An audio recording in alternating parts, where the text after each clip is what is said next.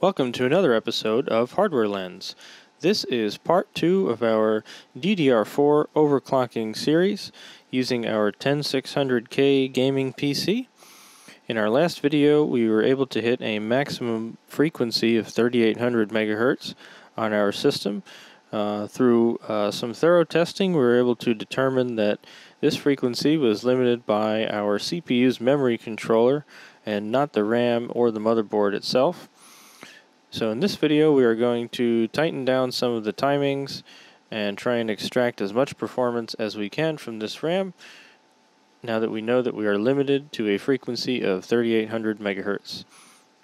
We are going to be overclocking the uh, Patriot Viper Steel DDR4 4400 C19 kits and uh, this is a great kit that I've talked about before. Um, it's uh, very affordable. We picked it up for uh, about $129 uh, for 16 gigs of DDR4 4400. It's Samsung B-Die RAM, so it's uh, some very good RAM, and there's a there's a link in the description for that as well. We are going to be referencing the GitHub guide that we mentioned in our last video, and there's a link in the description for that as well. Okay, so the first thing we are going to do is we are going to set the TRRDS as per the guide to 4. We're using the extreme setting. Next, we'll set the TRRDL to 6. Then we'll set the TFAW to 16.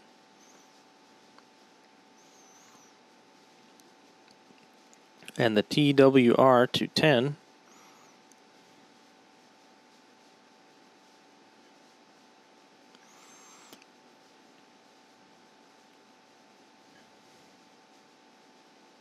and the TRTP to 8. Okay, so we'll leave the uh, rest of the timings alone and uh, we'll run a stress test on this right now. So we're going to want to save a profile first, of course, uh, especially with RAM. Uh, RAM overclocking, you have to clear the CMOS uh, pretty frequently, so make sure you save a profile. Alright, so let's see if it'll post.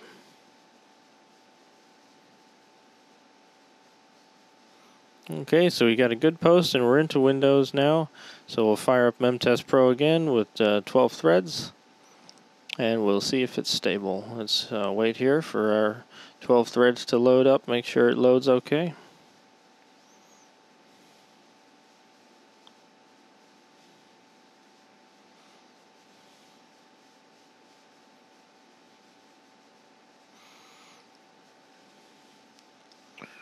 Alright, and there's our 12 threads. So we'll let this run.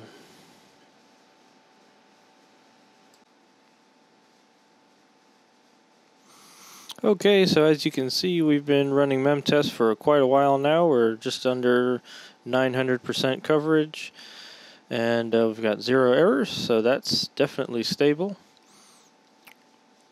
So next, we're going to boot into uh, BIOS and uh, change the command rate to 1T, and we'll run the stress test again and see if that's stable.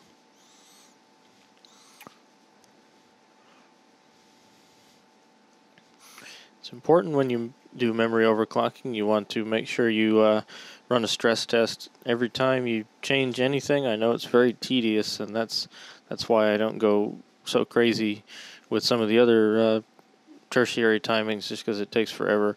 But you really want to make sure, because if you don't stress test this and then you have instability down the line, you'll have no idea where it's coming from, and it'll drive you crazy, and you'll just end up setting everything back to default because you don't want to deal with it. All right, so here we are. Uh, we've got a good post. Uh, let's see if we get into Windows okay. All right, we're in Windows. So uh, as you can see, we uh, sped it up a little bit. We've got memtest running here, 12 threads. We're waiting on our 12 threads, rather, to load. And same thing, we'll uh, let that run again. And we'll see what our results are. Alright, and we've got our 12 threads loaded up and ready to go. Okay, guys, so here we are. It's the next morning here, and uh, we're completely stable here, running at uh, 1T command rate. Uh, we're at 2,000% coverage. We let it run pretty long uh, because it got late, and we had to let it run overnight. So it's definitely stable. Okay, the next thing we're going to do is uh, go back into BIOS and start uh, tightening down some of the primary timings. Okay, so we're going to go ahead and set the CAS latency to 15 and we'll uh, see if that posts there.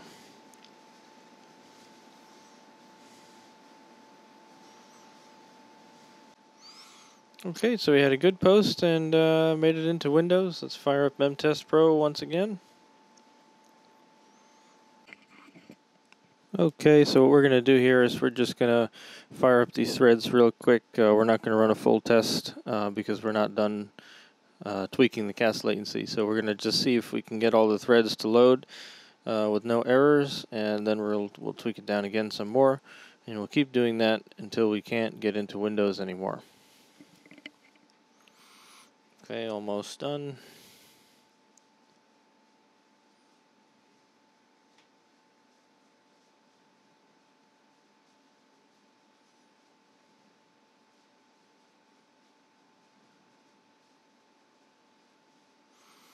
Okay, so no errors, threads are loaded up.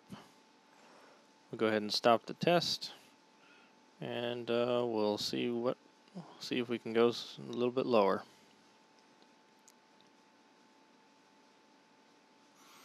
All right, so let's try 14.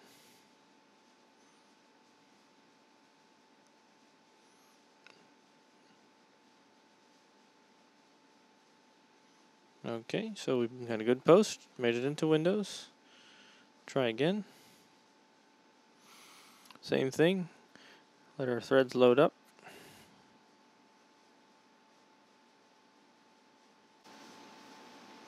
Okay, so 12 threads loaded. We'll restart and try and uh, go a little lower.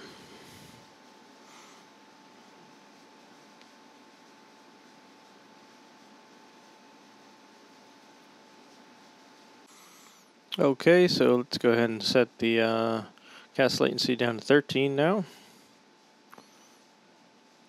See if we can get it to post here. Okay, so we got a good post and we're into Windows.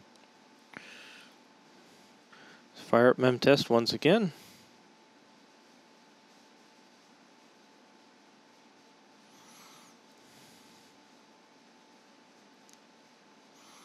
Okay, we'll load up CPU-Z just to verify that everything is as we set in BIOS. And you can see that it is. We've got a CAS latency of 13 there. So that's pretty good. Pretty good for 3800.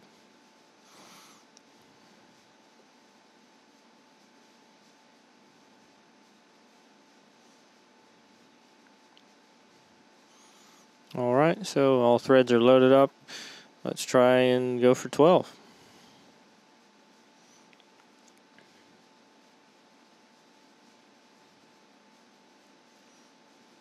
Okay, trying 12 now.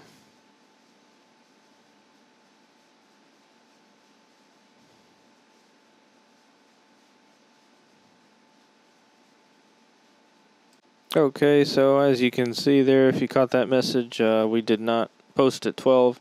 So it tried to train for a while and then uh, restarted and uh, it, it didn't work. So uh, no post at 12. So we'll go back to 13 for our CAS latency. And uh, at this point, now we're going to run MemTest Pro again and we're going to look for maximum stability. So we're going to let it run for a long time. And that will validate our CAS latency stability test.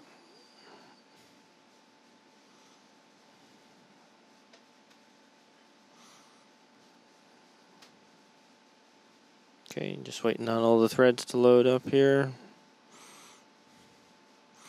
Okay, so as you can see here we are at 1000% uh, coverage, CAS latency 13, and we are stable. So that's pretty good. I think uh, I think 13 is pretty impressive for 3800. So now let's start tweaking some of the other primaries. Uh, we'll We'll tweak the TRCD, we'll set that to 13, set the TRP to 13. I set those two the same, I don't tweak them individually. You can, but uh, I'm, I'm lazy, so I'm going to uh, before I do that, uh, let's set a let's set a profile here for our, our stable CAS latency 13 setting. Uh, it's easy to forget to do. Okay, so now that we have that set, we'll go back in there and we'll try for 13, see if we can get them to match the CAS latency.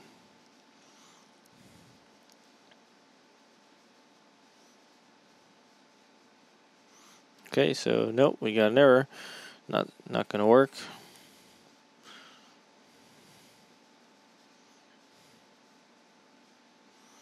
Okay, let's try 14.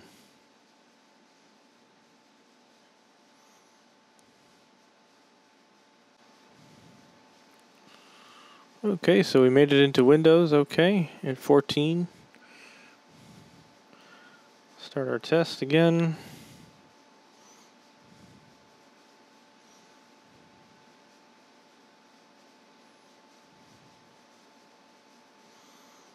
Okay, just waiting on our threads to load up here.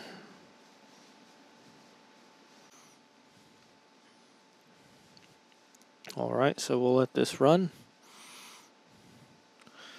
Okay, so it's been running for a little while. As you can see here, we've got some errors.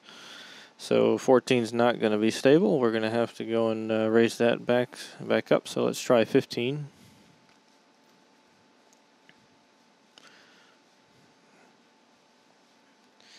Okay, I'll try again. Alright, and it didn't post that time, strangely posted at 14 but not at 15. Sometimes that happens. Okay, so we'll try 16 instead. And same thing, no post that time either. We've got no choice but to try 17.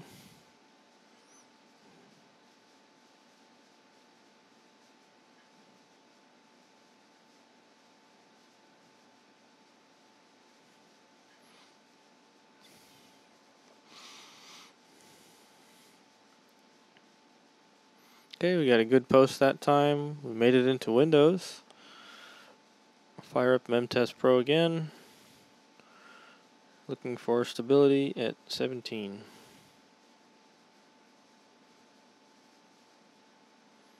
And fire up CPU Z. Okay, so there's our timings.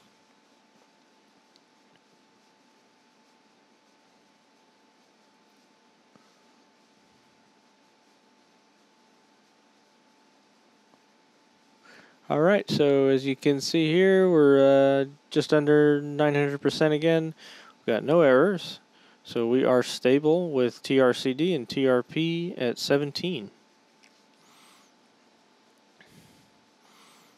All right, so let's uh, tweak some more. We'll go back into the BIOS now.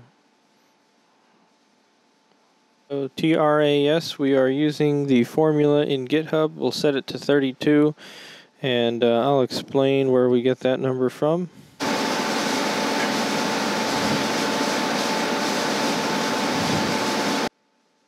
Okay, so we do that. Uh, where we got that number from, the 32, was the CAS latency plus the TRCD plus 2. And that's coming from the GitHub guide that we have referenced. And uh, you can see here in CPU-Z, we've got it running at 32 and uh, we're going to fire up CPU Z.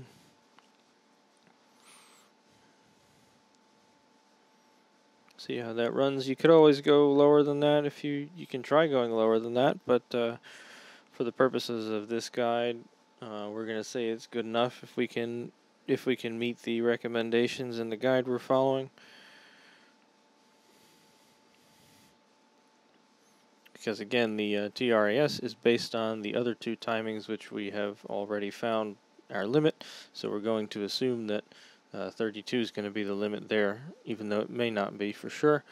And as you can see here we're uh, over 900% coverage and zero errors. So we are stable with TRAS at 32 Okay, so the next thing we're going to do is we're going to set the TRFC. And again, we get the, uh, we start off with nanoseconds in the guide uh, for Samsung B-Die. We have anywhere from 160 to 180 nanoseconds. So we'll try the lower end. We'll see if it's stable at 160. And uh, we're going to use that formula again, which is going to be the nanoseconds multiplied by the memory frequency divided by 2000. So we take uh, 160 multiplied by 3800, divide that by 2000,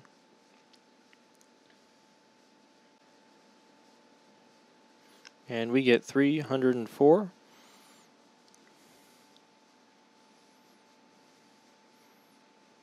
So let's try that out. Okay, good post.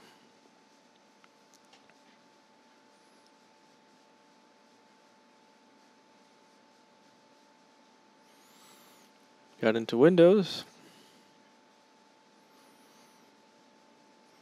And this is why it's important to overclock memory in a systematic fashion because uh, as you can see the last two timings were based on uh, stable numbers that we just found for the previous timings. So TRFC is, is based on your, your uh, memory frequency and TRAS was based on our uh, primary timings. Okay, so we'll fire up memtest again, and we'll see if it's stable there. So that's going to be uh, the last thing we tweak.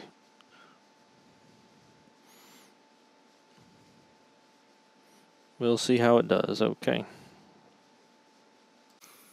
Okay, so as you can see here, we are stable with uh, our 160 nanosecond time with uh, 304 clocks for row refresh cycle time TRFC.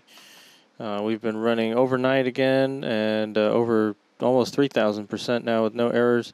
So this RAM is stable. Uh, we've come quite a long way from where we started. We started at 3800 megahertz with uh, uh, 19, 19, 39 timings, uh, CAS latency of 19 and we were able to clock down the CAS latency to 13 and TRCD to 17, TRP to 17, TRAS to 32, and we're running at a 1T command rate now. Uh, that should offer a pretty substantial performance improvement uh, versus where we started from. So these are pretty tight timings, so we, we uh, we're kind of disappointed that we were limited by the CPU memory controller. We could only hit 3800 megahertz on this uh, system, but uh, that's fine. That's still that's still going to be uh, more than adequate for for whatever you're doing. That's not bad RAM speed at all, and uh, especially with these nice tight timings. That's the good thing about uh, Samsung B-Die RAM. So even if you can't hit the highest uh, speeds, you can still tighten up the timings at the lower speeds and kind of make up for it. So this system should still perform very well in terms of memory. And that will conclude part two of our memory overclocking on this build. And uh, we thank you for watching. And if you enjoyed this video, please like, comment, and subscribe. And stay tuned for the next video. Thanks.